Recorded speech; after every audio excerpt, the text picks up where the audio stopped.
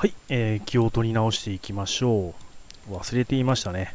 えー、タルブラは5ヒット以上いかなかったら味方全体攻撃でしたね。では、5ヒットいけるようにちょっと頑張りましょう。2、3、4、5。さあ、これでどうだ？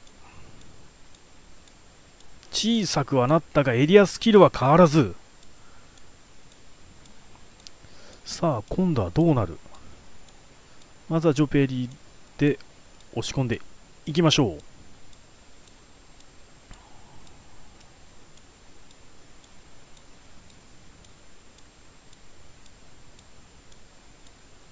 これで待機状態は逃れましたが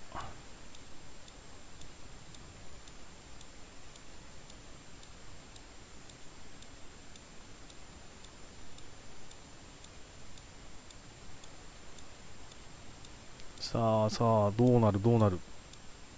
CS 自体は悪くはないはずなんですが。うーんこれだとどうなる？さあそしてロハン先生ですね。ロハンで。